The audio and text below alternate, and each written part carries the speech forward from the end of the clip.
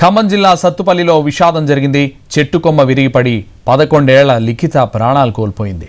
ఓ private స్కూల్లో ఆరో తరగతి చదువుతోంది ఆ చిన్నారి. ఇవాళ తన బర్త్డే కావడంతో తాతయ్యతో కలిసి స్కూల్కు వెళ్ళింది.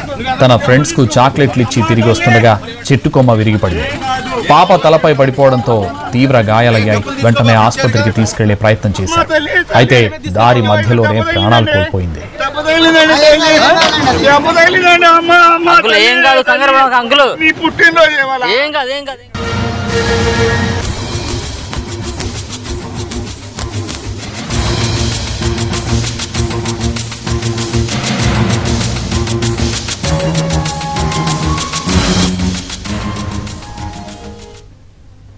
ఖమ్మం జిల్లా సత్తుపల్లిలో విషాదం జరిగింది.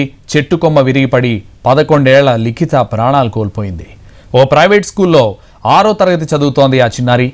ఇవాళ తన బర్త్డే కావడంతో తాతయ్యతో కలిసి స్కూల్కు వెళ్ళింది. తన ఫ్రెండ్స్కు చాక్లెట్లు ఇచ్చి తిరిగి వస్తుండగా చెట్టు కొమ్మ విరిగిపడింది. పాప తలపై పడిపోవడంతో తీవ్ర గాయాలయ్యాయి. వెంటనే ఆసుపత్రికి తీసుకెళ్ళే ప్రయత్నం చేశారు. అయితే దారి మధ్యలోనే ప్రాణాలు కోల్పోయింది.